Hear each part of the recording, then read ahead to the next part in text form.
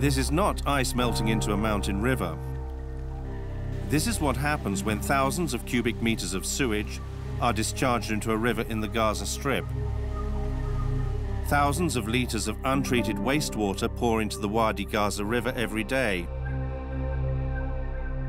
The polluted water snakes through urban areas towards the sea. It jeopardizes the health of many families living beside it, contaminates the coast, and endangers biodiversity.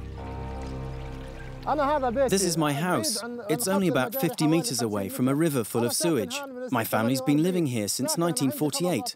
I've got five children. My five brothers also live here, and they each have six children. We all suffer from the sewage problem, day in, day out. Our children have fungal infections and parasites. That's why they're always scratching themselves. They also catch a lot of fly-borne diseases.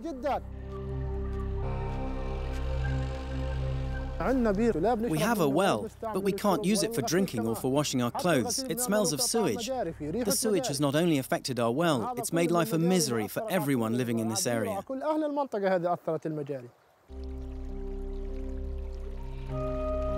The wastewater constantly runs through populated areas before pouring into the Mediterranean. There are 16 sewage outfalls along the seashore in the Strip. The population in the Gaza Strip also suffers from a serious lack of sanitation. In many of Gaza's poorer neighborhoods, homes are not connected to sewers at all. This is true of the Swedish village, a small community near Rafah in southern Gaza, where 100 families live in uncomfortable conditions. The housing is not connected to main drains, and everyone has to buy drinking water, because the tap water is too salty to drink. Our village has 500 inhabitants, around 100 families. For nearly three years, the water was soft enough to drink, but then it became too salty. So now we have to buy water. I sometimes have to pay one shekel or even one and a half shekels to fill a jerry can. I economize on the use of water and we use it only for drinking. If I had to use it for drinking and cooking, one shekel a day wouldn't be enough. For many Gazans, buying a water filter is prohibitively expensive, and so they cannot afford to purify water in their homes. Living in a polluted environment directly undermines health and hygiene in the poorest communities in the Strip. Most families cannot afford to replace damaged tanks or broken pipes. Some do not even have enough money to pay water bills. I don't throw the water I use for washing and doing the dishes into the cesspit. It's only for wastewater. I've lived in this village for the past 40 years, and we've suffered from the sewage problem for 21 of them. As you see, this sewage comes from the latrine. When the main cesspit is full, I dig a new hole near it and empty the sewage into it.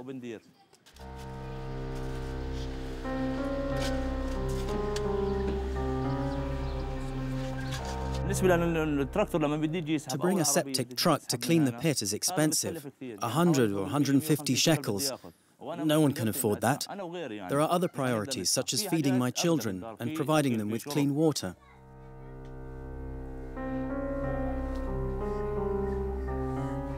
What's worse, all the streets are made of sand, and everyone throws their dirty water onto the streets. Water used to clean the house, wash the dishes or clothes. The children play and dig in the sand. Quite frankly, my children and my neighbours' children suffer from worms, amoebic diseases, scabies, and other skin infections.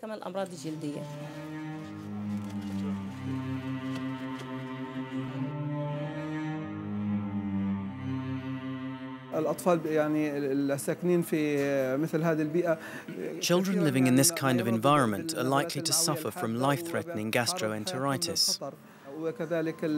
They're also exposed to many other types of viruses and bacteria. Hepatitis A is widespread in the country in general, and especially in places where there are open sewers. The Giardia cysts and amoeba commonly found in wastewater seriously damage children's health.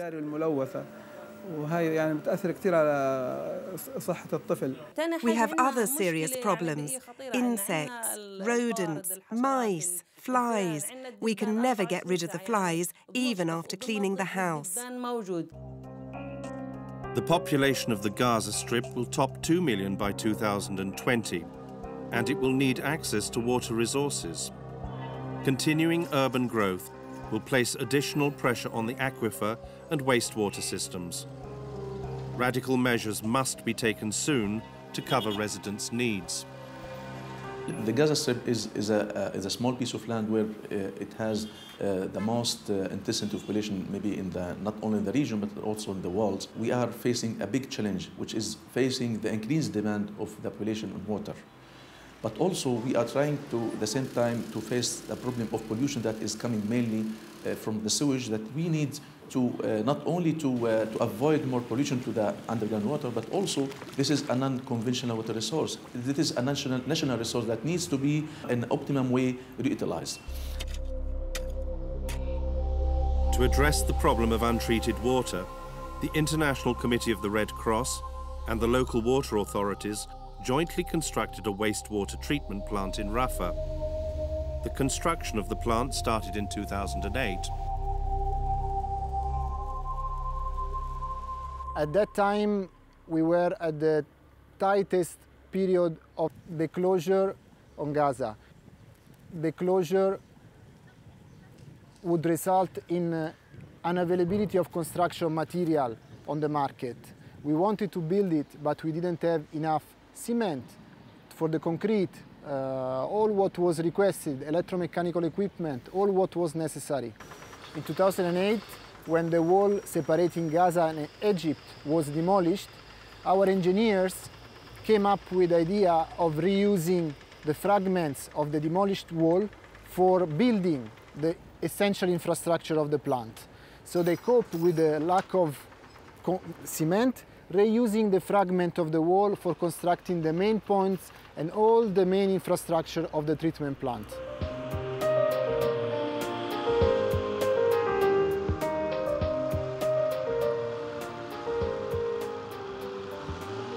This is a big investment which was identified uh, in the, late in the last century, talking about the need to, to build up a seawater desalination facility as a main source sustainable for water, to build up three wastewater uh, treatment plants that need to be uh, highly qualified to keep uh, reutilizing this valuable source of water, at least for agriculture, but if it is possible also to be re recharged to the aquifer to upgrade more the only resource of water that we have, uh, uh, the aquifer. The construction of the treatment plant, it's a great achievement and a huge improvement of the sanitary conditions of Rafah city. However, people in Gaza have the right to access as well more advanced technologies as in other parts of the world and not only resort to emergency solutions. Today we have already started with some applications and we have planted more than 1,000 trees in this compound in the surroundings of the treatment plant and all these trees are irrigated with water that is treated in the plant. In Khan Yunis, a group of farmers have already started to use treated wastewater from a plant constructed by ICRC to irrigate their crops. One of these farmers is Fawaz Abu Ziada, who has achieved excellent results. We bought this land before two years, and it was there is nothing to grow here because there is no water. So we went to the authorities and the government and we explained for them our problem. So they explained for us uh, that uh, we can use treated water. The good side of this water, it is available always, cheap. We can uh, have this water in two to three hours every day.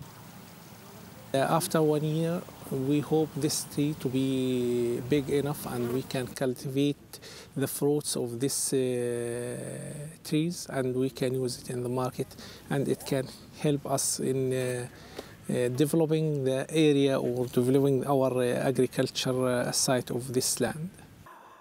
When will we be able to take a shower and not worry where the water's going, or wash the dishes and not worry that the cesspit is full? We need a real solution to tackle this problem, but when will we get it?